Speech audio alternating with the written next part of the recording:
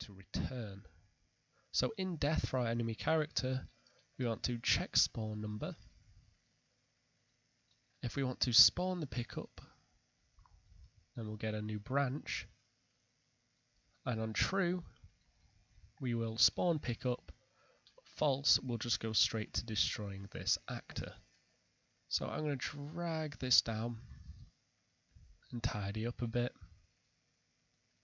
And on true, we need to create a new function called spawn pickup.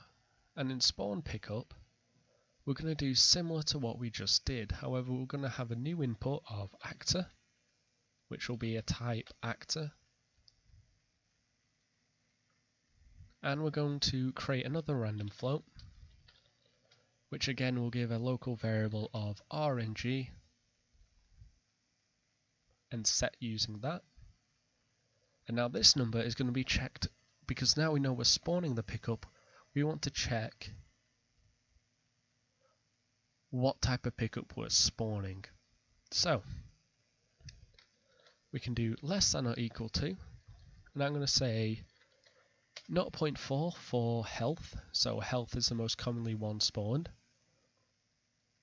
And then I'm going to have my ammo and my double points. So 0.4 for health, if that's true, then we want to spawn actor from class, and I want to spawn my health drop. Now its spawn transform I can get from my actor by getting get actor location.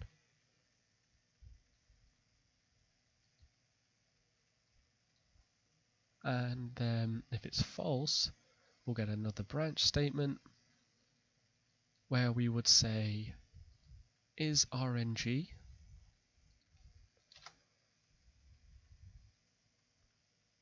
greater than 0.4 or whatever this number is so let's create a local variable and we'll do health range which we'll call 0. which will give a value of 0.4 So if RNG is greater than health range, but is less than or equal to ammo range, and we'll give this a value of 0.7. So less than or equal to ammo range.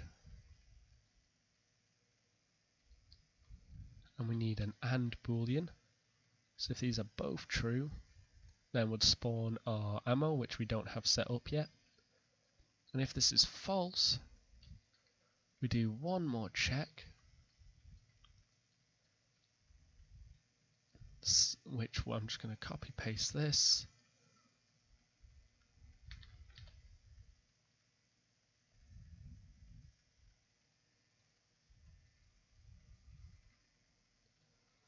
We'll do points range which will be 1